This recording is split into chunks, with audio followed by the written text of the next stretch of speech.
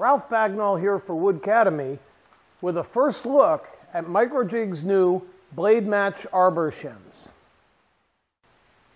Every table saw rip fence comes with a scale to allow you to set the distance from the blade, but nobody uses them.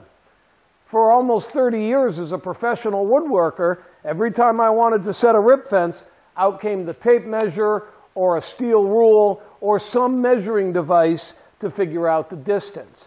And that's because when you change blades, you can't rely on the fact that the right side of your blade is always going to be in the exact same position relative to the fence as the previous blade that you had on.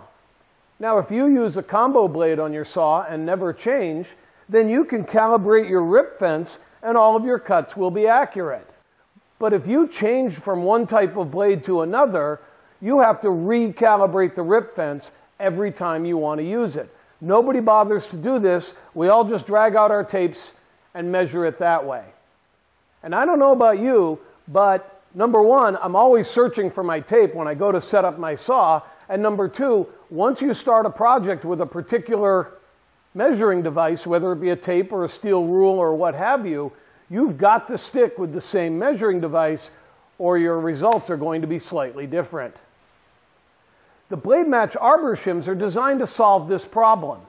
They allow me to set up my saw so that no matter what blade I put in, the right side of the blade, the fence side, is always in the same plane. It's always going to be a known distance away from blade to blade to blade. You can see what I mean here. I cut apart using a full kerf blade and it fits snugly.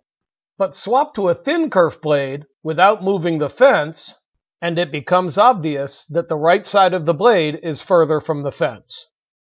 The arbor shims allow me to figure out the exact gap. I put the test piece back in place and use the arbor shims like you would a set of feeler gauges, stacking them in different combinations until you get the exact fit you want. You want to find a combination of shims that just barely drags between the board and the blade. They should slip between the two easily, but be dragging just enough to hold themselves in position. In this particular case, 18 thousandths was the right setup. In the package, you'll find a set of six shims. Three thousandths, four thousandths, five thousandths, six thousandths, ten thousandths, and twenty thousandths. And this combination will allow you to go from three thousandths of an inch adjustment all the way up to 45 thousandths by increments of one thousandth of an inch. Some combination of these will give you that entire range. Now, once I've figured out that this blade is 18 thousandths of an inch different than my widest blade, I'm going to choose the 10, the 5, and the 3. Now, one thing I have figured out is put your thicker two shims on the outside and any thinner shims on the inside. It makes the whole process of sliding them onto the arbor a little bit easier. They're less likely to get caught up in the threads.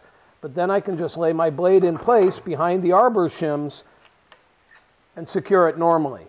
And this guarantees that the right side of my blade is always the same distance away from the fence, no matter which blade I have.